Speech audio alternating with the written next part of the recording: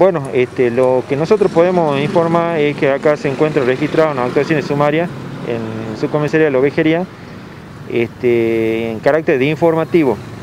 Este, después, con respecto a, lo trascendido y, circunstancias del hecho, este, directamente están a cargo de la, Fiscalía, el cual este, es una instancia privada, no podemos brindar eh, las circunstancias que, estaría requiriendo de la información. Lo único que podemos confirmar es que bueno, se está tramitando un expediente de carácter informativo. Se trataría entonces de un concejal y la denuncia la habría hecho la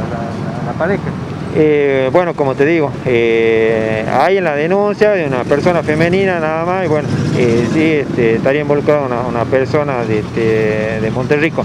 Y como, como, te repito, las circunstancias ya tendría que dirigirte a la Fiscalía de Investigación.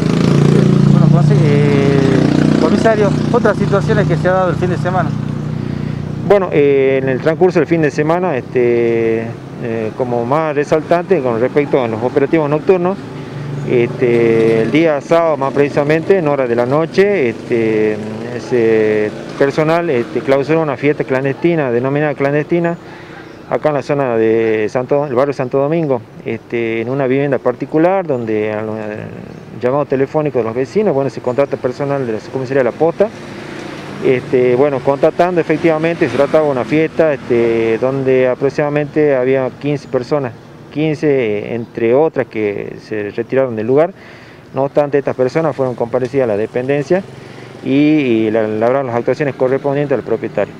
Eh, también eh, ya pasado el, día domingo, también eh, se detectó,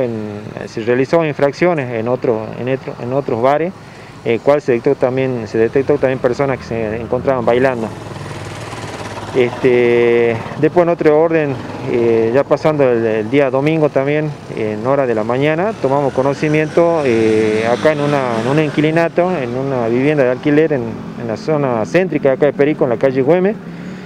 este, donde daban cuenta de que había una persona fallecida. En el momento que se presenta personal de la sesional 21, este, efectivamente corrobora en una de las piezas se encontraba una persona sexo masculino mayor de edad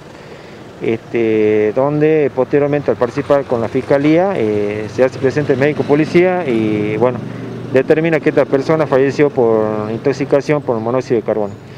Así es que posteriormente se localiza a los familiares, en el cual residen también acá en la ciudad de Perico, y bueno, la fiscalía ordenó este, la entrega del cuerpo a, los familiares para posterior inhumación.